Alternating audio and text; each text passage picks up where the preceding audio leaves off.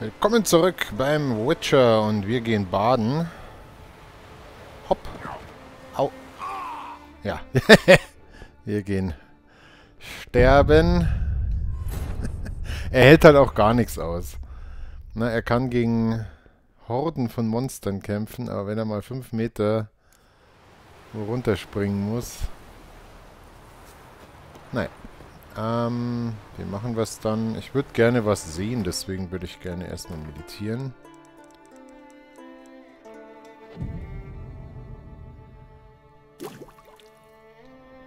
Ich weiß schon, ich äh, zeige euch die Nacht über Skellige relativ selten.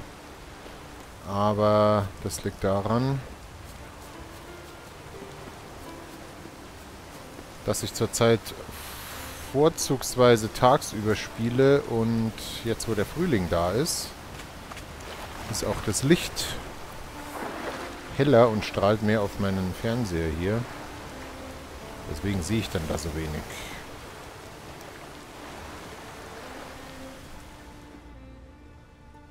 Da sehe ich doch schon einige Schätze, zumindest einen Leichnam und eine Schatzkiste.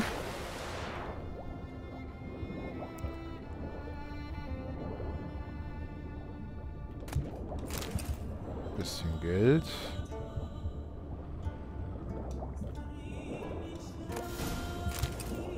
Ach, das war's schon. Ah.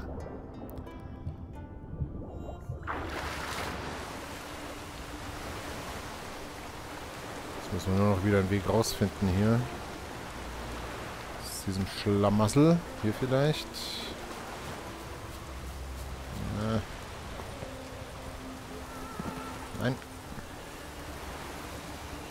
Da nicht. Und vielleicht hier drüben.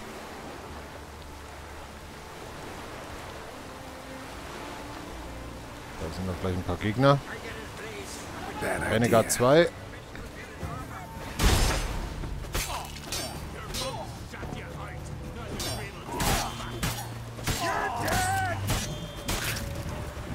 Der ist hier tot.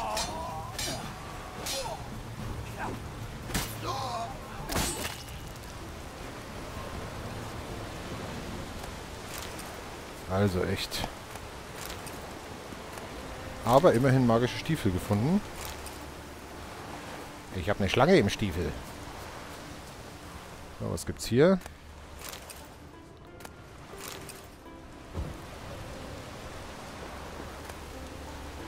Holger Schwarzhans Horn und Tagebuch eines Diebes. Ich, Kjarre, Sohn von Knut, habe zweimal Schande über mich gebracht. Erst als ich in Todesangst vom Schlachtfeld floh. Meinen Schild ließ ich dort zurück und nun liegt er als Zeuge meiner Feigheit bis Ragnarok auf dem Grunde des Sumpfs. Das zweite Mal war, als Orn Zweischädel mich überredete, Holger Schwarzhans Horn zu stehlen. Orn dachte, ich würde das Horn an Schmuggler verkaufen, doch das werde ich nicht tun. Wenn ich nur als Dieb und Bandit leben kann, ziehe ich es vor, gar nicht zu leben. Ich kann nur eines tun, um meine Ehre wiederherzustellen, das Horn hinbringen, wo es hingehört, in seine angestammte Heimat. Mathios, dem Holger auftrug, das Horn zurückzuholen, hat Familie in der Nähe dieser Klippen. Ich hoffe, dass er zum Fest der Tag und Nacht gleich hierher kommt. Dann kann ich ihm das gestohlene Horn zurückgeben und ihn bitten, sich beim Jarl für mich zu verwenden. Das ist die einzige Hoffnung, die ich noch habe. Ja. Tja, wahrscheinlich bist du jetzt tot, weil du mich angegriffen hast.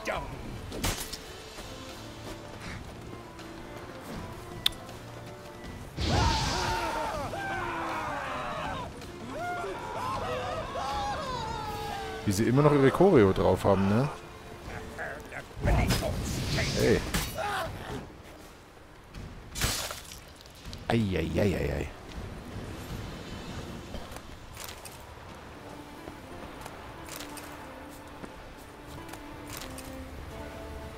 So, was haben wir hier? Nichts Besonderes, oder?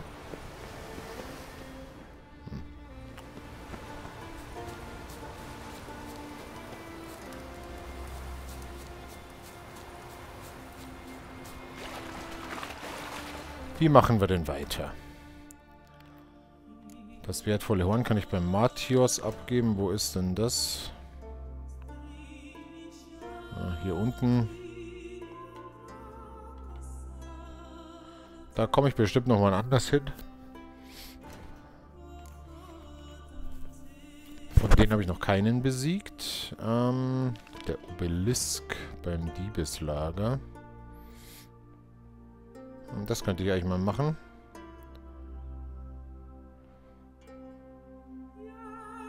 Ich würde sagen, erstmal noch Kerl Trolde. Oder was haben wir denn Größeres zu tun? Mit Lothar sprechen. Wo ist das? Hier unten. Ich habe irgendwie Bock, erst kurz den ganzen Krempel in Wellen zu machen, weil da ist nicht mehr viel offen. Das mache ich auch. Dann kann ich mich nämlich voll auf Skellige konzentrieren danach. Ich bin auch super, oder? Erst will ich unbedingt aus Novigrad weg und Wellen, um endlich nach Skellige zu kommen. Komme ich hier, zieht es mich schon wieder zurück. Aber so ist das eben.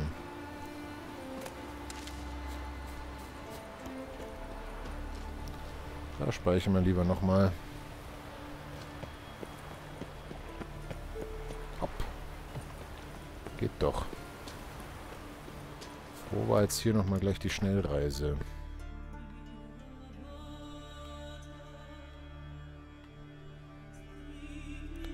Ah, hier in Arinbion. Okay.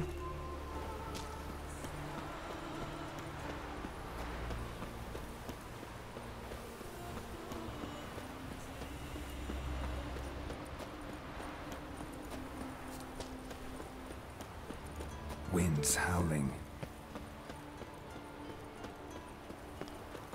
Du nicht sagst.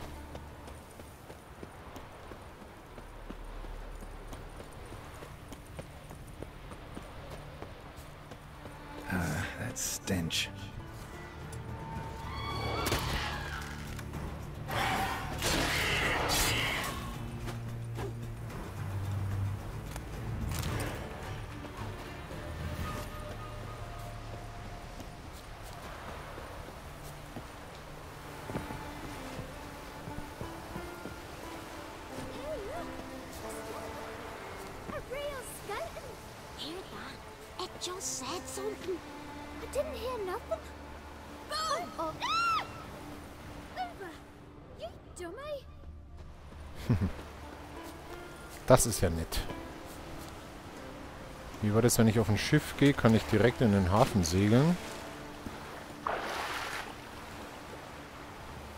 wie war das nochmal?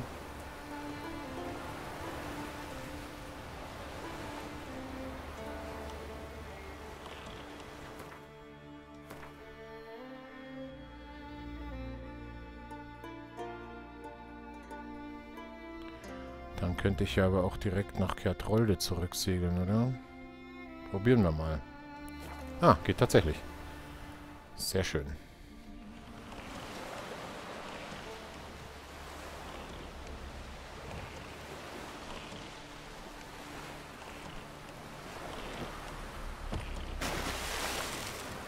Another one struck and come to see the goods.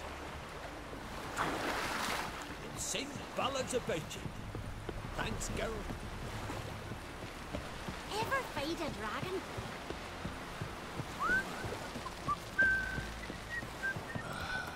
Also zunächst wollten wir ja mal unser Schwert einsammeln. Halt, Quatsch. Falsch. Wo war's denn? Hier.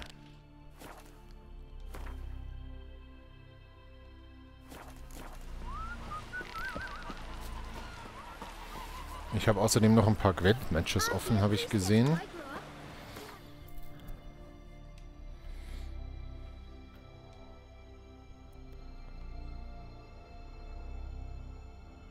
Kehre später zu Hattori zurück. Und Hattori ist doch hier unten, oder nicht?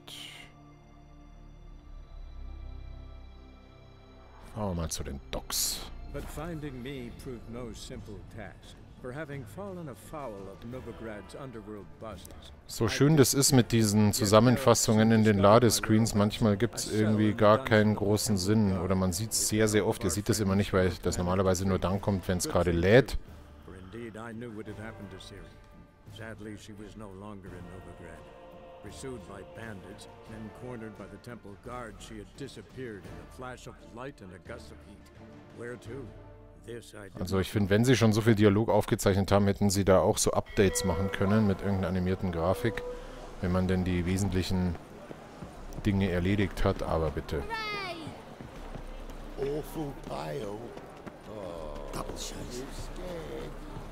Looky, Mr. Fancy Pants. I've got a sharp pain in my spine. Double shows.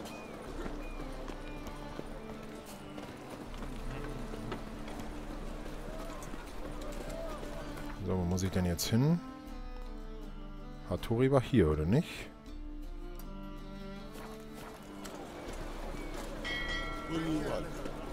So, what's it gonna be?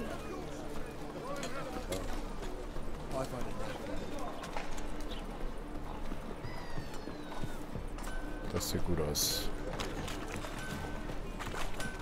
Greetings, Ibeer. Greetings, Geralt. How might I be of help? My sword ready yet? It is. Behold and admire. A sword to outshine all others. Hmm. Well, this was worth the wait. Thank you, Ibeer. It is I who thank you for everything. So long. Ah! Ein Scherbenschwert. Schauen wir mal, was das kann. Hm, gar nicht so schlecht. 169 bis 207 Schaden und momentan habe ich bei meiner Stahlwaffe 169 bis 207 Schaden. Nur halt mit mehr Boni. Das heißt, ich werde es wohl nie benutzen, aber das hebe ich mir auf jeden Fall mal auf. Schick. Dann gehe ich jetzt doch mal schnell zum Fischmarkt, weil da habe ich, glaube ich, auch beim Schmied noch eine Gwent-Runde offen. Danke nochmal an unseren äh, Zuschauer. Open up. der immer so schön aktualisiert in der Excel-Tabelle, wie gut ich beim Gwent bin und was mir alles noch fehlt. Ich glaube, bei dem ist auch noch eine... Dem habe ich auch noch eine Rechnung offen. Mm. Der war ja ziemlich stark die letzten Male. So, ich habe den Tipp bekommen, dass Willen treten Mert stärker ist als Verbrennen. Dass ich den rausschmeißen kann, habe ich ja schon rausgeschmissen. Und dass ich nach und nach auch meine Nahkämpfer rausgeben kann. Wieso ist denn da nur einer von den blauen Streifen drin? Wo ist denn der andere? Hatte mir ein Mitspieler geklaut. Geht das? Stehlen einem die Gegner Karten? Ich hatte doch zwei davon, oder nicht?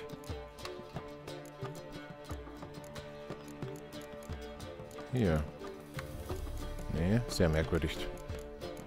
Dann werfe ich den auch mal raus, weil allein bringt er mir nicht so viel.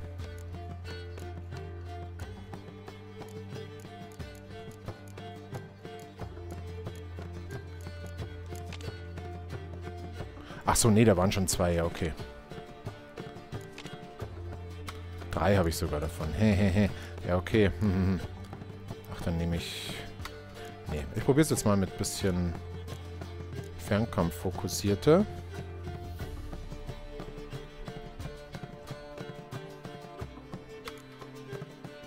Von dem habe ich... Ja, da habe ich sogar zwei. Okay, die behalte ich mal.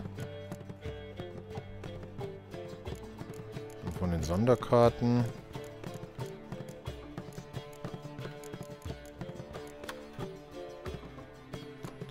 Wenn ich weniger auf Nahkampf gehe, dann kann ich ihm noch eine mit reinwürgen. Jetzt probieren wir es mal so. Und er spielt die Monster. Das könnte nahkampfmäßig sogar gar nicht so blöd sein. Zwei finden. Ein Spion. Ja, kaum Fernkämpfer. Bisschen mehr. Vielleicht habe ich sogar noch einen. Ja, genau. Ah, jetzt hätte ich vielleicht doch noch eine Finte tauschen müssen. Aber dann kann ich mir wenigstens, wenigstens ein paar Karten zurückholen. So. Dann fangen wir gleich mal mit dem Spion an. Jetzt habe ich eine starke Ballistikreihe. Aha, klaut er sich auch gleich. Cleveres Bürschchen, dann... Hm.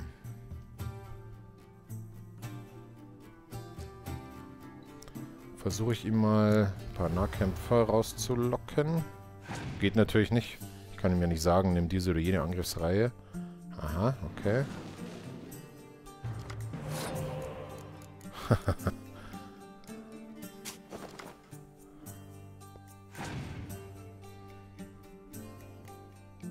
Jetzt passt der schon, okay.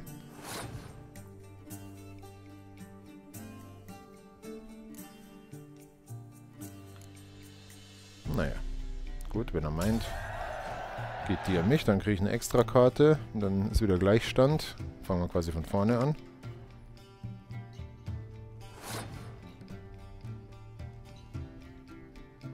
Dann probieren wir das Ganze einfach nochmal.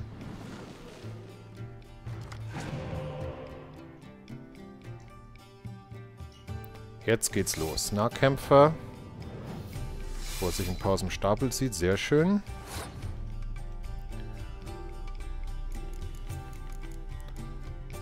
Konnte ich immer mit meinen Nahkämpfern, weil falls ich dann das Einfrieren benutze, schadet mir das nicht.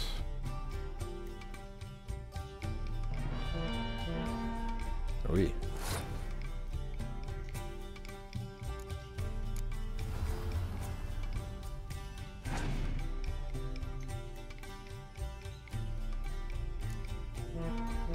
Aha. Mit dem könnte ich ihm jetzt, wie war das nochmal? Die stärksten Nahkampfeinheiten, wenn die Gesamtstärke mindestens 10 beträgt. Dann brennen wir ihm mal da ein paar raus. Ah, es waren nur die zwei. Die anderen sind eher schwach, aber immerhin.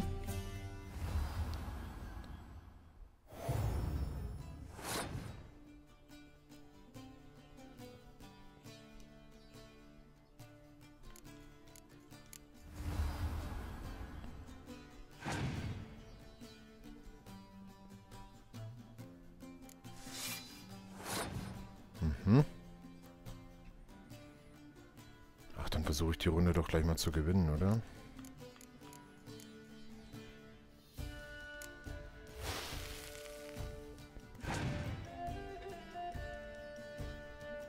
Jetzt hätte er natürlich noch die Chance, eine schöne Wetterkarte zu spielen. Das ist eigentlich in der letzten Runde ein bisschen cleverer. Aber was soll's.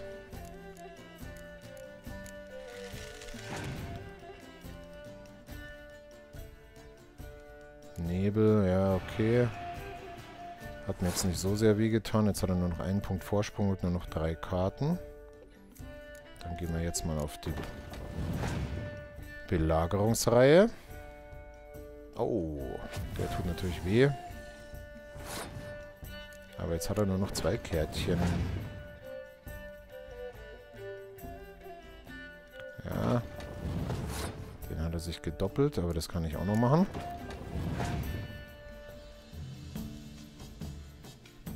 Die letzte Karte.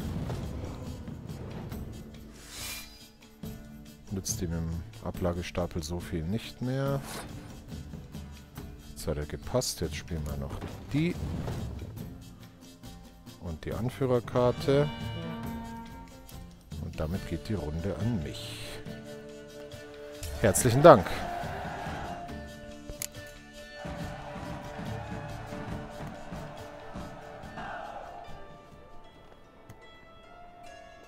Hat er keine Karten dabei? Na toll. Verkauft er vielleicht welche?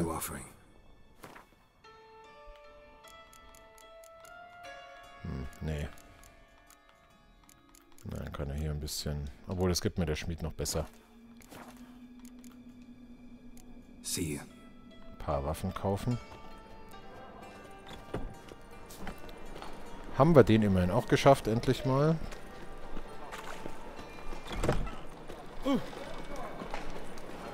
Oder habe ich den sogar schon mal geschafft und jetzt mit dem Buchhändler am Hierarchenplatz verwechselt? Auch möglich. Wäre jetzt natürlich ein bisschen peinlich, aber der hat sich jetzt schon wacker geschlagen gerade.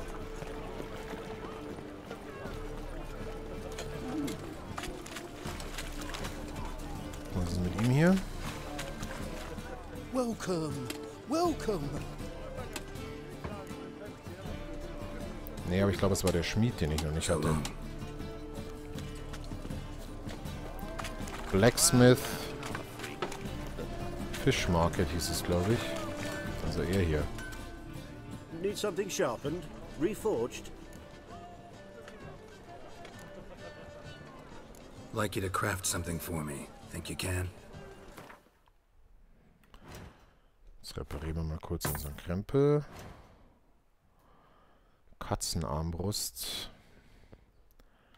Ah.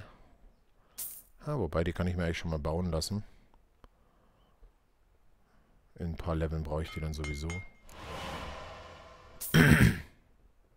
Oder habe ich mir die schon gebaut? Das wäre natürlich jetzt ein bisschen scheiße, aber naja.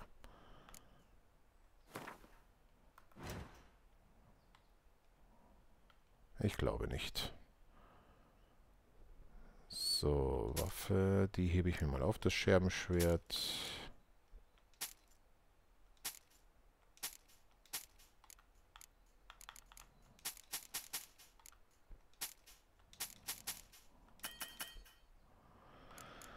Oh, wieder nicht genug Geld dabei. Mein Gott.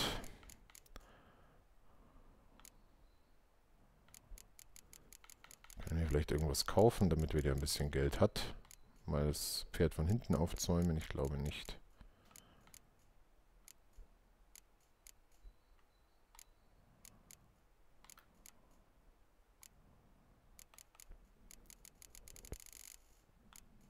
Nee, da muss ich mir dann noch einen anderen Schmied suchen.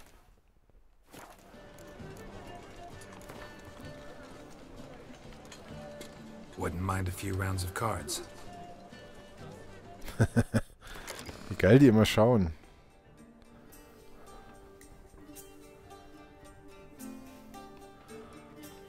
Das probieren wir gleich nochmal so. Monster wieder.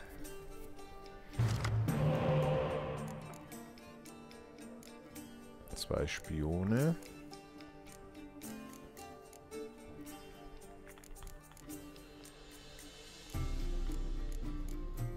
Hm, sieht ganz gut aus. Das probieren wir so.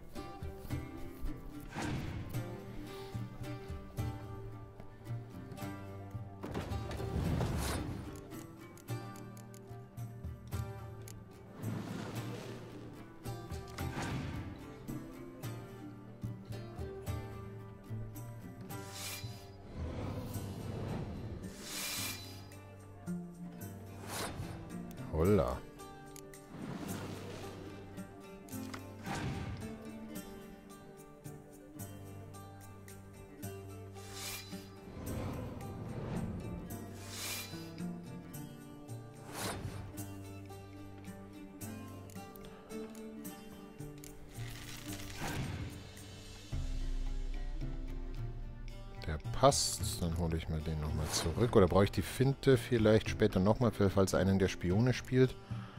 Das ist mir, glaube ich, lieber so. Hat jetzt eh schon echt viele Karten ausgespielt. 11 zu 6.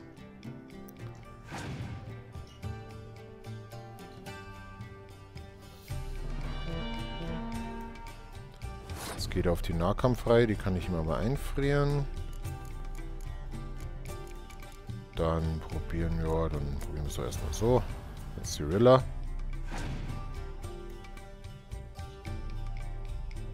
Eine Mumin. Mal schauen, ob er die anderen auch noch hat. Tatsache. Nicht schlecht.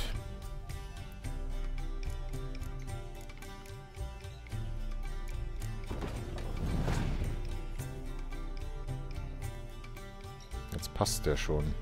Ja gut, das ist ja super easy dann. Ach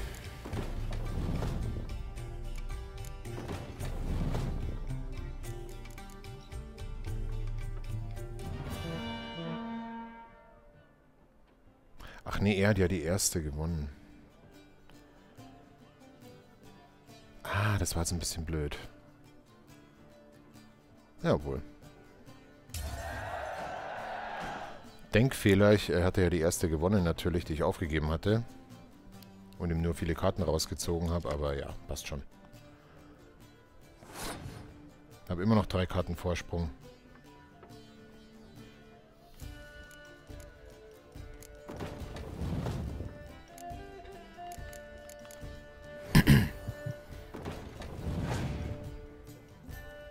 Wäre nur schlecht, wenn er eine Regenkarte hat.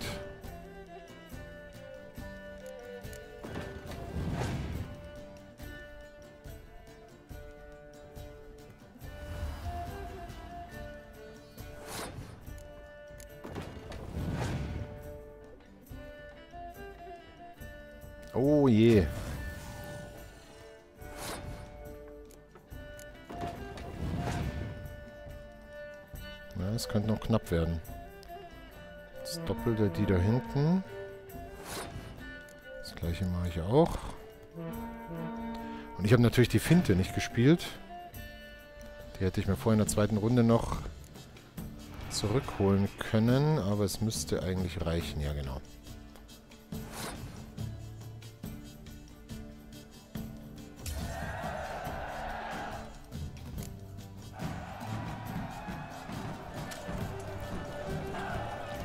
Wieder einer weg von der Liste.